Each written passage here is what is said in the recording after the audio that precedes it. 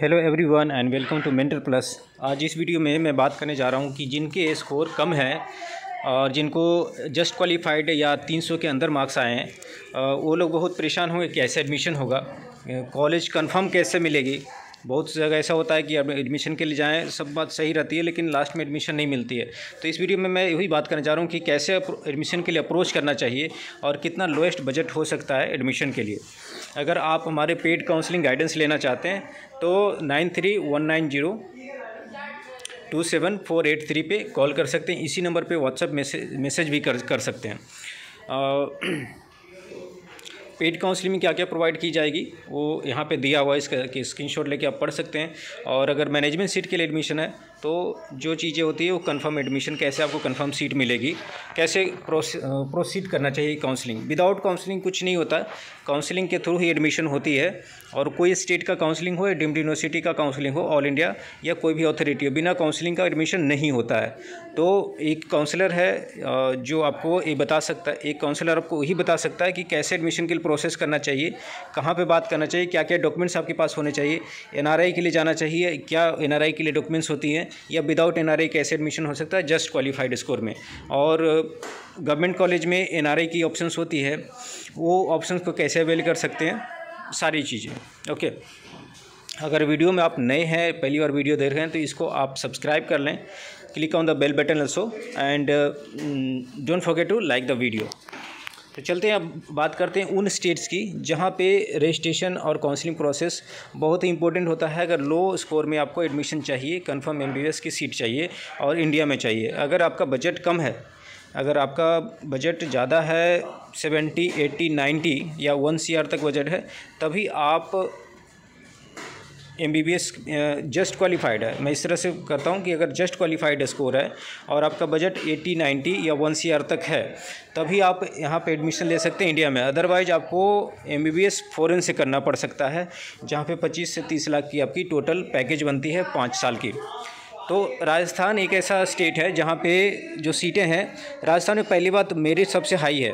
जितने भी स्टेट्स हैं, जितने भी स्टेट्स हैं, उसमें से राजस्थान स्टेट में, चूँकि कोटा पे, वहाँ पे कोटा में कैंडिडेट्स पढ़ने जाते हैं और उस स्टेट में एम बी एस की तैयारी के साथ साथ टेन प्लस टू का भी वहीं पे एडमिशन करा लेते हैं। तो कोटा स्टेट के जो कैंडिडेट्स हैं, वहाँ की मेरिट हाई इस वजह से चली जाती है।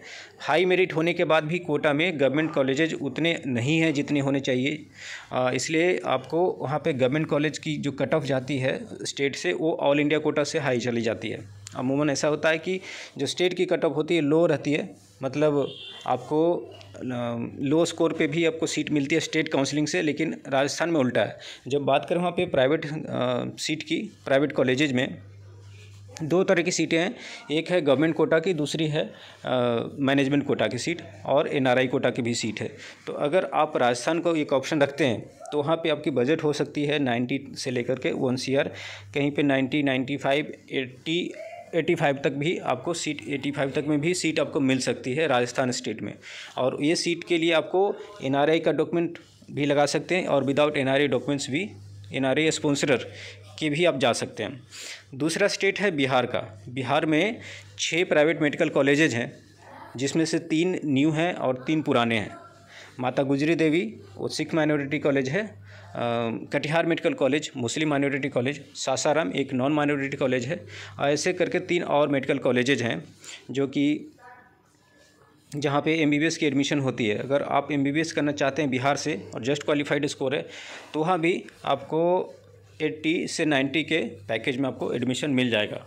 कैसे एडमिशन करना है, इसके लिए आप हमें कंसल्ट कर सकते हैं। तीसरी या चौथी जो स्टेट है हमारे लिस्ट में, वो वेस्ट बंगाल है और फिर हरियाणा की है। हरियाणा में भी कई ऑप्शंस हैं, जैसे आपको वर्ल्ड मेडिकल कॉलेज है एसजीटी है और वहाँ पे और भी दो तीन मेडिकल कॉलेजेज हैं। वेस्ट बंगाल में बहुत सारे ऑप्शंस हैं आपके पास, जो सबसे सस्ता मेडिकल कॉलेज है के का और इसके अलावा और छः वहाँ पे मेडिकल कॉलेज हैं, एक नई मेडिकल कॉलेज वहाँ पे आई है। जो कि शांति निकेतन नाम से है, जो वहाँ पे इस बार पहली बार वहाँ पे मेडिकल की पढ़ाई शुरू होगी और उसमें जो गवर्नमेंट कॉलेज, जो हॉस्पिटल है वो गवर्नमेंट का है और दोनों के एसोसिएशन पे पीपीपी मॉडल का एक नया कॉलेज है। यहाँ भी ट्यूशन फ़ी हाई रहती है और बैंक गारंटी की डिमांड करते हैं। जब बात करें कि राजस्थान में, वहाँ भी बैंक गारंटी का डिमांड करते हैं। एनएमसी के ने ऐसा बोला था कि बैंक गारंटी को ख़त्म किया जाना है एमबीबीएस एडमिशन में, और कोई भी कॉलेज प्राइवेट हो या डिम्ड हो, बैंक गारंटी की डिमांड नहीं करेगा स्टूडेंट से, लेकिन ये अभी इम्प्लीमेंट हुई नहीं है, और अभी भी बैंक गारंटी की डिमांड की जाती है। तो इस चीज़ को भी फैक्टर इस फैक्टर को भी ध्यान में रखना होगा। बैंक गारंटी का मतलब ये होता है कि बैंक की तरफ़ से एक स्टेटमेंट इशू होती है, और उसमें ये रहता है कि आपको फ़र्स्ट ईयर का तो फ़ी आपने पे कर दिया, लेकिन सेकेंड और थर्ड ईयर की फ़ी पे करने की आपके लिए पहले से पैसे या कुछ उसकी इक्वेलेंट प्रॉपर्टी जो जिसके बेसिस पे बैंक आपको बैंक गारंटी इशू करती है, उस बैंक गारंटी पेपर को आपको जमा करना होता है at at the time of admission तो ये कंडीशन है राजस्थान में, बिहार में बैंक गारंटी नहीं है, लेकिन इस बार से बैंक गारंटी कुछ कॉलेज में आ सकती है।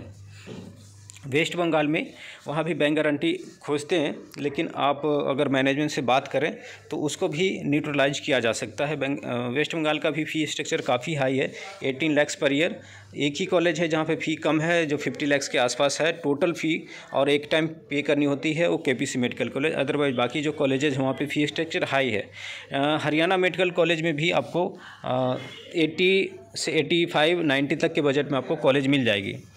बाकी दो स्टेट हैं, कर्नाटका और तेलंगाना, और भी स्टेट हैं। कर्नाटका ज़्यादा इंपॉर्टेंट है क्योंकि कर्नाटका में नंबर ऑफ़ मेडिकल कॉलेजेस बहुत ही ज़्यादा हैं। ट्वेंटी एट के आसपास मेडिकल कॉलेजेज हैं और वहाँ पे कई तरह की सीटें होती है। एक तो वो सीटें होती है जो गवर्नमेंट कोटा की सीट होती है, दूसरी सीट होती है मैनेजमेंट कोटा की और उसके बाद दो और कोटा हैं जो स्पेसिफिक कोटा है क्यू कोटा है और एन आर आई कोटा है।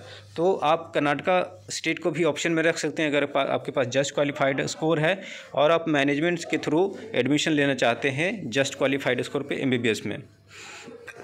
तेलंगाना के भी कुछ माइनॉरिटी कॉलेजेज हैं जहाँ पे सीट खाली रह जाती है या जस्ट क्वालिफाइड पे आपको सीट मिलती है।